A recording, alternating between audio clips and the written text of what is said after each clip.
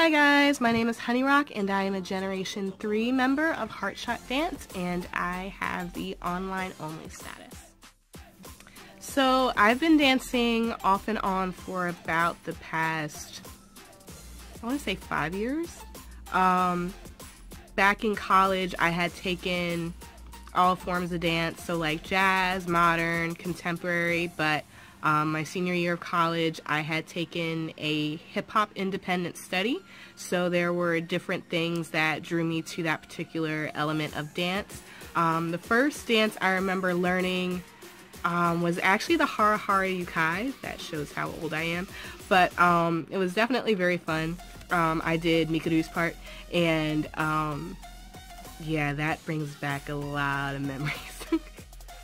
So my favorite dance that I want to say I've learned so far, prob even though I don't have it like 100% down yet, would probably have to be Sorry Not Sorry by Banana Lemon. I love the energy and the spunk and the charisma that all the members have and I just love the song so much. It's like one of my favorites. Um, and then also to one of the other dances that I like a lot, still have to finish um, memorizing it is Forever by Crystal Kay because I love the dance hall vibe that it has and there's a lot of like really clubby kind of energy through the song so I think that's pretty cool. So my favorite cover that I've done so far would have to be my most recent one, um, Ioma Thelma's um, We Are the World. I was always kind of like interested in Para Para because of the anime Super Gals and having a chance to do a dance that took some of the popular para para elements and broke it down in a way that was really simple. And plus the song is like really catchy too. And if you have a chance to like watch the music video, she has like all these like little elements in there that are like really, really cool, like homages to DDR and stuff like that.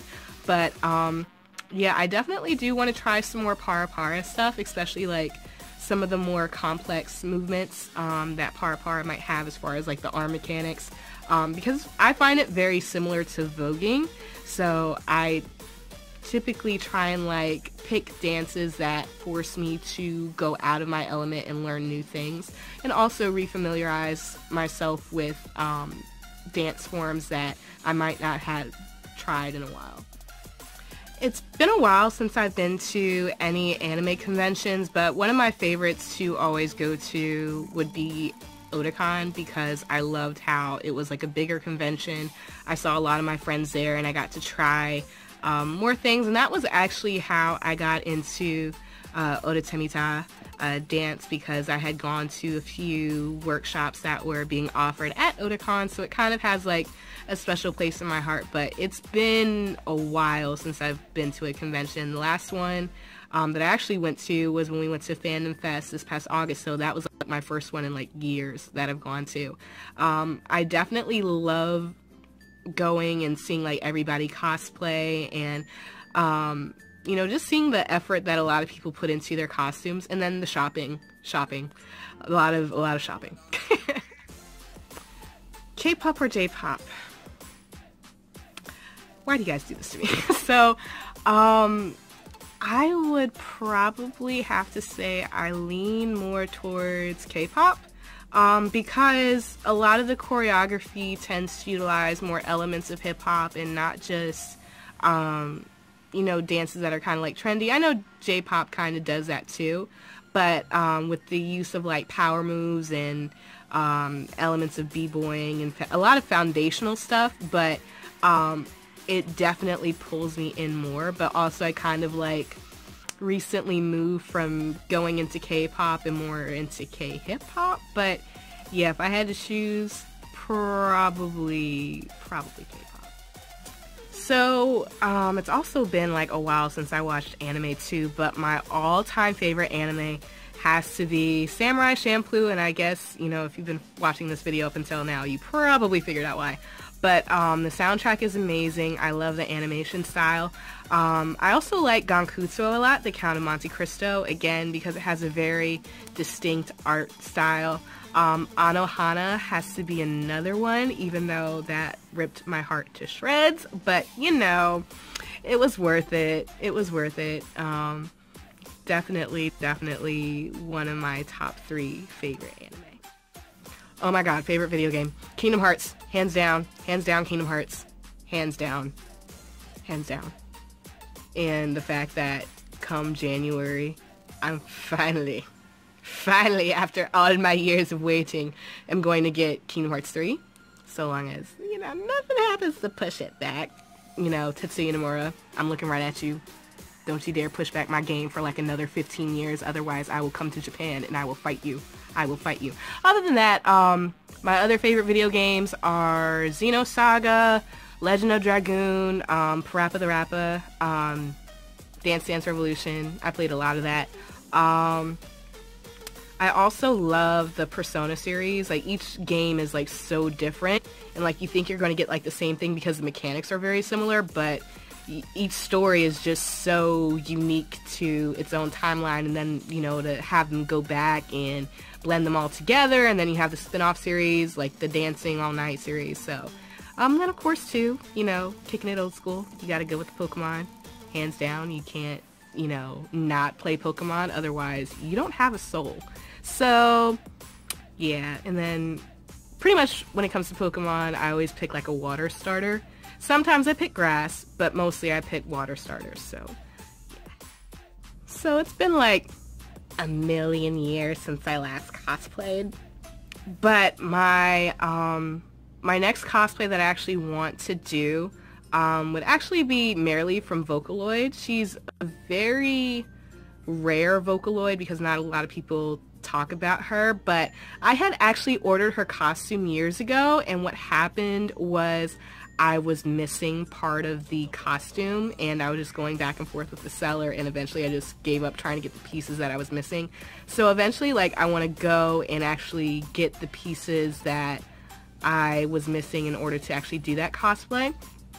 Um, I also would like to play, cosplay Akasha from Queen of the Damned. I just think she's such a Bamf character that, um, you know, she just has like that mysterious evil energy and, you know, she's like one of my favorite movie villains. Um, I also would like to cosplay Shana from Legend of Dragoon, like the Dragoon form, but I also kind of like don't want to walk around wearing very heavy foam wings but it's definitely something that is like on my dream list to do. So in my spare time, um, I definitely like to do stuff that's creative. So I do like a lot of digital art, um, mainly stuff like in Photoshop. I also draw too. Um, I find it really relaxing and then I sing a lot. Um, I love learning songs in new languages, so I'll sing in Japanese and Korean um, even though my accent's like a little weird. But again, I'm not a fluent speaker, so that's a given. But um, also too, like learning songs in German because that's where my grandma's from. So um, being able to kind of connect a little bit more. Um, one of the things that I hate about drawing though is not having a consistent art style. It's just like I want to find my style, but you know, it's still been like years since I started drawing and I still haven't found my particular art style yet. So one of my goals while I'm a member of Heartshot Dance, um, I have been very passionate about music for years and I'm slowly but surely like making more headway in that and one of the things that I find I grew up watching, you know, artists like Aaliyah, Janet Jackson, um, you know, NSYNC, like a lot of music videos that had like choreography in them. And I'm not really seeing like a whole lot of artists like in the United States like really use choreography anymore. Um, which is part of the reason too why I gravitated towards music from Asia because you see like there's like still very much a heavy presence of choreography like within music videos and in the music industry. So one of the goals that I have for Heartshot Dance is to work on my dancing um, because there's a particular label that I follow, but I'm also kind of sort of interning for them. Um, and my goal is to one day actually audition for them, but I don't feel comfortable auditioning with just voice alone. Um, I want to be able to have that dance backing so that way I could really like bring back something that I'm not really seeing a lot of here. Um, and I feel that being a member of Heartshot, I am going to be forced to um, just take some challenges head on and there's accountability that's there because I have my members that I could rely on and you know just people that I could get wisdom from like our our leader Viola. She's just amazing and I really look up to her a lot. And then also too a goal that I have um, you know as far as Heart Shot Dance as a whole just watching us and helping us grow and finding more opportunities for us to do so um, because like I'm very moved by our our statement, you know, always shoot for your dreams and having met people through conventions and seeing what we get to do and having them dance alongside us and seeing how it makes like a lot of people happy and also kind of inspire them to do what they love doing. I'm very big on that and I think that's why you know, I feel so at home with Heartshot and I'm just always amazed by every single thing that we do and like everyone who uploads a cover. I'm so proud of them. And um, you know, I just at the end of the day, it's just shooting for my dreams and just seeing how as I'm shooting, I'm looking at how everyone else is shooting for theirs and it just motivates me. So being able to do that together, that's like the best thing in the world. So guys, you know, that was a little bit about me. I hope I was interesting enough and not boring. Um, you know, so again, thank you so much for supporting Heartshot Dance and I hope you guys continue to shoot for your dreams. Bye bye!